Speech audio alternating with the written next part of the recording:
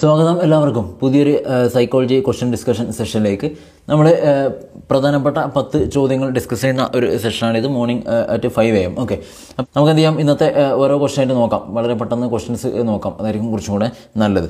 Ready അപ്പോൾ പറയുന്ന പോലെ തന്നെ ഓരോ ക്വസ്റ്റൻ വായിക്കുമ്പോഴും നിങ്ങൾ പെട്ടെന്ന് തന്നെ ഇനി ആൻസറിലേക്ക് എത്താൻ പറ്റുന്നുണ്ടോ നോക്കണം. ഞാൻ പറയുന്നതിന് മുന്നേ തന്നെ പെട്ടെന്ന് പെട്ടെന്ന് ആൻസറിലേക്ക് എത്താൻ കൂടെ ശ്രമിക്കുക. അങ്ങനെയാണെങ്കിൽ നമുക്ക് പെട്ടെന്ന് ഇനിയിപ്പോൾ എക്സാമിന് വന്നാൽ പോലും നമുക്ക് പെട്ടെന്ന് സ്കോർ ചെയ്യാൻ പറ്റും. ഇത് കാര്യങ്ങളൊക്കെ മനസ്സിലായിക്കൊണ്ട്.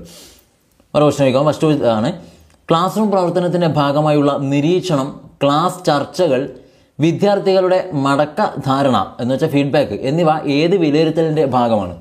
Which type of assessment is a part of classroom observation discussions in the class and feedback of the students question clear അല്ലേ? ഓപ്ഷൻ നോക്കിയ പഠനത്തെ വിലയിരുത്തൽ ഓർ അസസ്മെന്റ് ഓഫ് ലേണിംഗ് പഠനത്തിനായുള്ള വിലയിരുത്തൽ ഓർ അസസ്മെന്റ് ഫോർ ലേണിംഗ് പഠനം തന്നെ വിലയിരുത്തൽ ഓർ അസസ്മെന്റ് ആസ് ലേണിംഗ് അപ്പോൾ ഈ മൂന്ന് കാര്യങ്ങൾ വെച്ചിട്ട് നിങ്ങൾ ആൻസറിലേക്ക് എത്തണം. എന്താണ്? ക്ലാസ് റൂം പ്രവർത്തനത്തിന്റെ ഭാഗമായുള്ള നിരീക്ഷണം ക്ലാസ് ചർച്ചകൾ വിദ്യാർത്ഥികളുടെ മടക്ക ധാരണ അല്ലെങ്കിൽ ഫീഡ്ബാക്ക് വിദ്യാർത്ഥികൾക്ക് ഫീഡ്ബാക്ക് കൊടുക്കുക.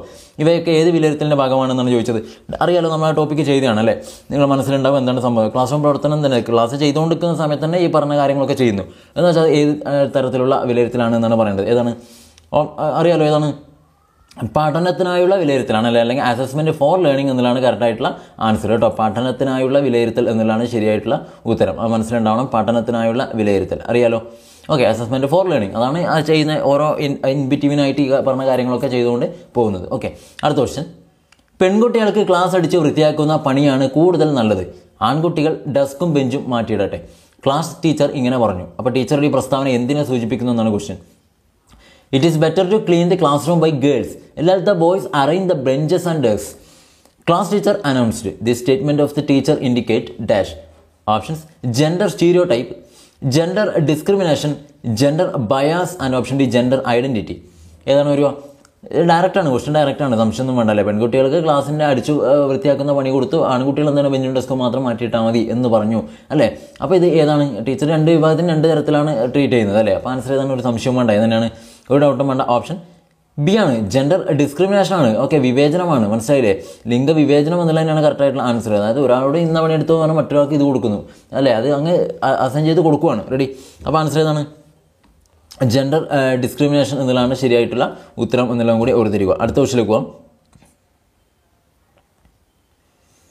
ഓക്കെ വികാസ തത്വങ്ങളിൽ പെടാത്തത് ഏത് which of the following is not a principle of development okay വികാസ തത്വങ്ങളിൽ പെടാത്തത് ഏത് എന്നാണ് ചോദ്യം. ഓക്കെ വികാസം ക്രമീകൃതമാണ്. ഒരു ഡെവലപ്മെന്റ് ഈസ് ഓർഡർലി വികാസം വിശേഷത്തിൽ നിന്നും സാമാന്യത്തിലേക്ക് കിടക്കുന്നു. എന്ന് വെച്ചാൽ development proceed from specific to general വികാസം പ്രവചനീയമാണ്. ഒരു development is predictable and option D വികാസം സഞ്ചിത സ്വഭാവത്തോടു കൂടിയാണ്. അല്ലെങ്കിൽ ഡെവലപ്മെന്റ് ഈസ് ക്യൂമുലേറ്റീവ് ഇതിൽ വികാസ തത്വങ്ങൾ ഉൾപ്പെടാത്തത് ഏതെന്നാണ് ചോദിച്ചത്?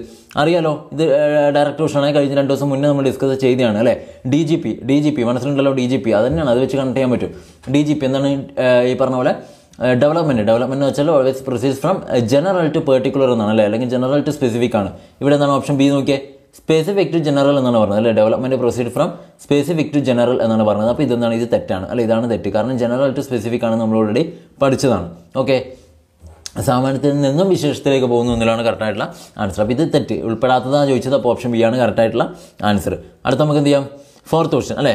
ഓക്കെ ഫോർത്ത് ക്വസ്റ്റ്യൻ രമേശ് മാഷ് ക്ലാസ്സിൽ ഗ്രൂപ്പ് പ്രവർത്തനങ്ങളും അനുഭവങ്ങൾ പങ്കുവയ്ക്കുന്നതിനുള്ള പ്രവർത്തനങ്ങളും നൽകി. കുട്ടികളുടെ ഏത് തരം ബുദ്ധി വർദ്ധിപ്പിക്കാനാണ് ഈ പ്രവർത്തനം സഹായിക്കുക? ക്വസ്റ്റ്യൻ ക്ലിയർ അല്ലേ?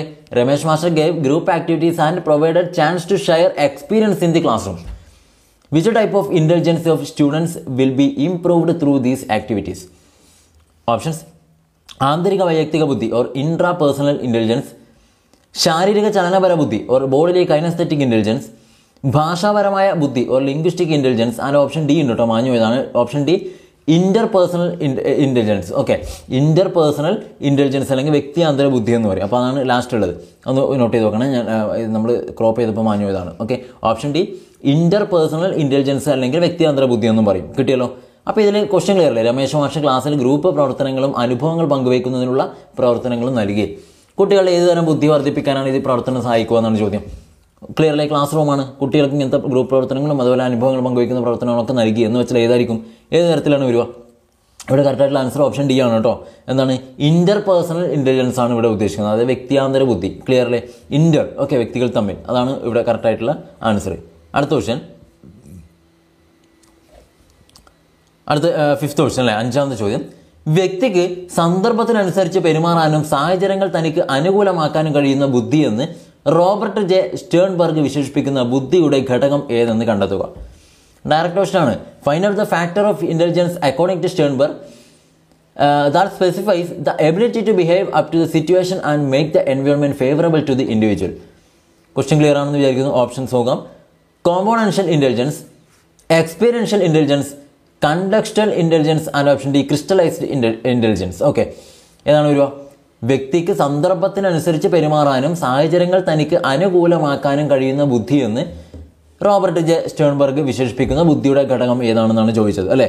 ആൻസർ ഏതാണ് വരിക? കൃത്യമായിട്ട് മനസ്സിലാക്കണം. ആൻസർ ഇവിടെ വരുന്നത് ഈ തരത്തിലുള്ള ബുദ്ധി ഏതാണ്? അല്ലെങ്കിൽ സ്റ്റേൺബർഗ് വിശേഷിപ്പിക്കുന്ന ഈ ഒരു ബുദ്ധി എന്ന് വെച്ചാൽ കോണ്ടക്സ്റ്റൽ ഇന്റലിജൻസ് എന്നതാണ് കറക്റ്റായിട്ടുള്ള ആൻസർ കേട്ടോ.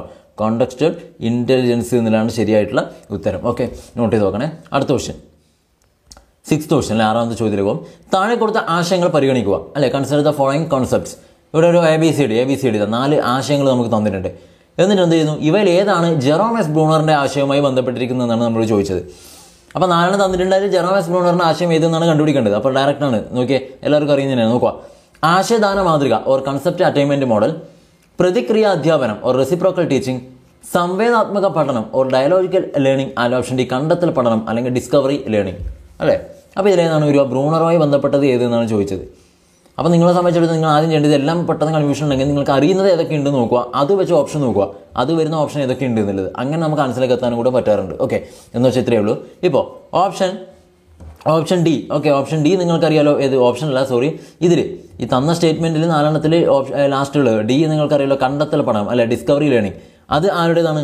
ബ്രൂണറിനാണെന്ന് നിങ്ങൾക്കറിയാലോ? ബ്രൂണറാണെന്ന് അറിയാം. അല്ലെ? ഡി ബ്രൂണറാണെന്ന് നമുക്ക് അറിയാമെന്ന് വിചാരിക്കുക. ബാക്കിയൊന്നും ഇപ്പോൾ പെട്ടെന്ന് അറിയുന്നില്ല എന്ന് വിചാരിക്കുക. സംശയമാണെന്ന് വിചാരിക്കുക. അപ്പോൾ നിങ്ങൾ നോക്കേണ്ടത് ഓപ്ഷനിൽ പോയിട്ട് ഡി വരുന്ന ഏതൊക്കെ ഉണ്ട് നോക്കുക. അതാ എയും ബി ആണ് ആദ്യത്തെ. ഇതല്ല ബിയും സിയും പിന്നെ എയും ഡിയും വരുന്നുണ്ട് അല്ലേ? ഇതിൽ ഡി വരുന്നുണ്ട്.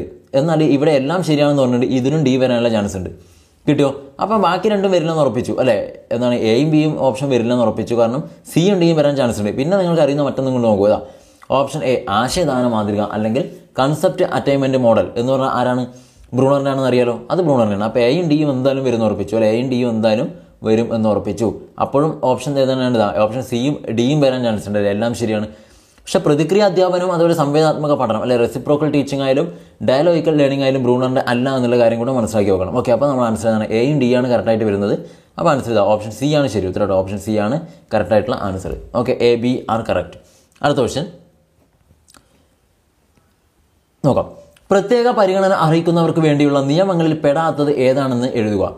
പ്രത്യേക പരിഗണന അർഹിക്കുന്നവർക്കുള്ള അർ- അർഹിക്കുന്നവർക്ക് വേണ്ടിയുള്ള നിയമങ്ങളിൽ പെടാത്തത് ഏത്? അല്ലേ? Which of the following act is not included for the children with special needs ഈ ആക്ട് വായിക്കുമ്പോൾ മനസ്സിലാവും. കഴിഞ്ഞ ദിവസം നമ്മളൊരു നിയമങ്ങളുമായി ബന്ധപ്പെട്ട ഒരു ക്ലാസ് തന്നിട്ടുണ്ടായിരുന്നു. ഓക്കെ അത് മനസ്സിലാക്കിയവരെ സംബന്ധിച്ചിടത്തോളം ഇത് വളരെ സിമ്പിളായിട്ട് മനസ്സിലാക്കി എത്താൻ പറ്റും. അല്ലേ? നോക്കിയ ഓപ്ഷൻ നോക്കിയേ. ഹ്യൂമൻ റൈറ്റ് ആക്ട് ഓർ പിന്നെ mental health act person with disabilities act എന്ന് വെച്ചാൽ പി ഡബ്ല്യു ഡി പിന്നെയോ national trust act okay national trust act അപ്പോൾ നിങ്ങൾക്ക് അറിയാലോ അല്ലേ? എന്താണ് ഇവർ പ്രത്യേക പരിഗണന അറിയിക്കുന്നവർക്ക് വേണ്ടിയുള്ള നിയമങ്ങളെക്കുറിച്ച് നമ്മൾ കഴിഞ്ഞ ദിവസം പഠിച്ചു. അപ്പോൾ അറിയിക്കപ്പെ അല്ലെങ്കിൽ അതിൽ ഉൾപ്പെടാത്തത് ഏതാണ്? ഒരു സംശയം വേണ്ട ഓപ്ഷൻ എ ആണ്. ഹ്യൂമൻ റൈറ്റ് ആക്ട് അല്ലേ? ഹ്യൂമൻ റൈറ്റ് ആക്ട് എന്ന് വെച്ചാൽ മനുഷ്യാവകാശ നിയമമാണ് ഉദ്ദേശിക്കുന്നത്. ഓക്കെ അത് എല്ലാവർക്കും കോമൺ ആയിട്ട് വരുന്നതാണ്. അല്ലേ? ഇത്ര പരിഗണന അറിയിക്കുന്നവർക്ക് വേണ്ടി മാത്രമല്ല. ബാക്കിയൊക്കെ നമ്മളെ ക്ലാസ്സിൽ പഠിച്ചില്ല? മെന്റൽ ഹെൽത്ത് ആക്ട് ആയാലും പി ഡബ്ല്യു ഡി ആയാലും നാഷണൽ ട്രസ്റ്റ് ആക്ട് ആയാലും പഠിച്ചാണ്. ഓക്കെ അടുത്ത ക്വസ്റ്റ്യൻ നമ്മൾ ഇന്നത്തെ എട്ടാമത്തെ ചോദ്യത്തിലേക്ക് പോകുന്നു. താഴെ കൊടുത്ത പ്രസ്താവനയിൽ വായന വകലുമായി ബന്ധപ്പെടാത്തത് ഏത്? നെഗറ്റീവാണ് ബന്ധപ്പെടാത്തത്. വിച്ച് എന്ന following statement is not related with dyslexia option നോക്കിയേ. വായിക്കുമ്പോൾ ചില പദങ്ങൾ വിട്ടു വായിക്കുന്നു. Some words are left left out while reading നിർത്തേണ്ടിടത്ത് നിർത്താതെ വായിക്കുന്നു. അല്ലെങ്കിൽ reads without stopping where it should option C ഒന്നോ രണ്ടോ വരികൾ വിട്ടു വായിക്കുന്നു. അല്ലെങ്കിൽ leaving one or two lines and option D അർത്ഥം മനസ്സിലാക്കാതെ വായിക്കുന്നു അല്ലെങ്കിൽ reading without understanding the meaning ഇതിൽ എന്താ ചോദിച്ചത്? ഈ പറഞ്ഞ ഡിസ്ലെക്സിയ അല്ലെങ്കിൽ വായനാ വൈകല്യവുമായി ബന്ധപ്പെടാത്തത് ഏതെന്നാണ് ചോദിച്ചത്? ബന്ധപ്പെടാത്തത്. ആൻസർ ഏതാണ്? കൃത്യമായിട്ട് മനസ്സിലാക്കി നോക്കുക. ഓപ്ഷൻ ഡി ആണ് കേട്ടോ. അർത്ഥം മനസ്സിലാക്കാതെ വായിക്കുന്നു എന്നതാണ് ഓക്കെ ഇവിടെ വായിക്കുന്നുണ്ട് പക്ഷേ അർത്ഥം മനസ്സിലാക്കുന്നില്ല ഇല്ലാന്നേ ഉള്ളൂ. ബാക്കി നോക്കിയാൽ വായിക്കുമ്പോൾ ചില പദങ്ങൾ വിട്ടു വായിക്കുന്നതായാലും നിർത്തേണ്ട അടുത്ത് നിർത്താതെ വായിക്കുന്നതായാലും ഒന്നോ രണ്ടോ വരികൾ വിട്ടു വായിക്കുന്നതൊക്കെ വായനാ വൈകല്യം തന്നെയാണ്. പക്ഷേ ഓപ്ഷൻ ഡി അതിൽ ഉൾപ്പെടുന്നില്ല. അടുത്ത ക്വസ്റ്റ്യൻ നമ്മളെ നയൻത്ത് തൂഷൻ അല്ലേ നയൻത്ത് തൂഷനിലേക്ക് പോകുന്നു. താഴെ കൊടുത്ത പ്രസ്ഥാനങ്ങളിൽ വൈകാരിക ബുദ്ധിയുടെ നിർവചനമായി കണക്കാക്കാവുന്നത് ഏത്? വിച്ച് എം എന്ന following statement can be considered as a definition of emotional intelligence വൈകാരിക ബുദ്ധിയുടെ ഈ പറഞ്ഞ പോലെ ഡെഫിനേഷൻ അല്ലെങ്കിൽ നിർവചനമായിട്ട് കണക്കാക്കാവുന്നത്. ഓപ്ഷൻ നോക്കിയേ. വൈകാരികാവസ്ഥയെ ബുദ്ധിപരമായി നിയന്ത്രിക്കാനുള്ള കഴിവ് അല്ലെങ്കിൽ ability to control the emotional state intellectuals option B തന്റെയും മറ്റുള്ളവരുടെയും വൈകാരിക അവസ്ഥ മനസ്സിലാക്കാനുള്ള കഴിവ് or ability to understand the emotions emotional state of oneself and others option D സ്വയം പ്രചോദിതനാവുക അല്ലെങ്കിൽ B self motivated and option D D ഉണ്ട് എന്ന് മാഞ്ഞു പോയതാണ്. ഓപ്ഷൻ ഡി വരുന്നത് ഓൾ ദി അബോ എല്ലാം ഓക്കെ മുകളിൽ പറഞ്ഞവ എല്ലാം. ആൻസർ എന്താണ് വരിക? താഴെ കൊടുത്ത പ്രസ്താവനകളിൽ വൈകാരിക ബുദ്ധിയുടെ നിർവചനമായി കണക്കാക്കാവുന്നത് എന്നാണ് ചോദിച്ചത് അല്ലേ? അപ്പോൾ ആൻസർ നിങ്ങൾ നോട്ട് ചെയ്ത് നോക്കേണ്ടത് ഓൾ ദി അബോ ആണ്. എന്ന് വെച്ചാൽ ഈ മൂന്നും അതിൽ വരും കേട്ടോ. മൂന്നും മനസ്സിലാക്കണേ. മൂന്നും ഇതിൽ വരുന്ന തന്നെയാണ് വൈകാരിക ബുദ്ധിയുടെ നിർവചനമായിട്ട് നമുക്ക് പറയാൻ പറ്റുന്ന കാര്യം തന്നെയാണ്. അതുകൊണ്ട് ഓപ്ഷൻ ഡി ആയിട്ടുള്ള ഓൾ ഓഫ് ദി അബോ ആണ് കറക്റ്റ് ആയിട്ടുള്ള ആൻസർ അല്ലെങ്കിൽ ഇത് മൂന്നും വരും. കിട്ടിയല്ലോ? അടുത്തത് നമ്മൾ ഇന്നത്തെ ലാസ്റ്റ് ക്വസ്റ്റൻ പത്താമത്തെ ചോദ്യം. താഴെ കൊടുത്തവയിൽ ശരിയായ ജോഡി ഏത്? Which of the following is is the correct pair okay sorry which of the following is the correct pair എന്നാണ്. നോക്കാം. ഉൾക്കാഴ്ച പഠനം ഇയൽ എൽ തൊണ്ടയ്ക്ക്. എന്ന് വെച്ചാൽ ഇൻസൈറ്റ്ഫുൾ ലേണിംഗ് ഇയൽ തൊണ്ടയ്ക്ക്.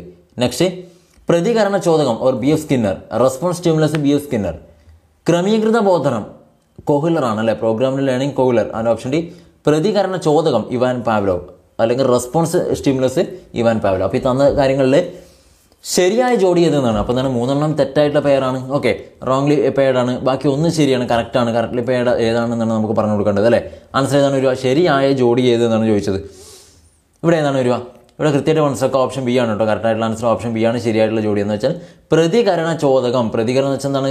Response stimulus response stimulus B F F സ്കിന്നറാണ് കൊണ്ടുവന്നത്. അല്ലേ? അപ്പോൾ നിങ്ങൾ ബിഹേവിയർസുമായി ബന്ധപ്പെട്ട തിയറീസ് പറയുമ്പോൾ അതിൽ നമ്മൾ ലാസ്റ്റ് പറഞ്ഞ തിയറിയാണ് സ്കിന്നറിന്റെ തിയറി അല്ലേ?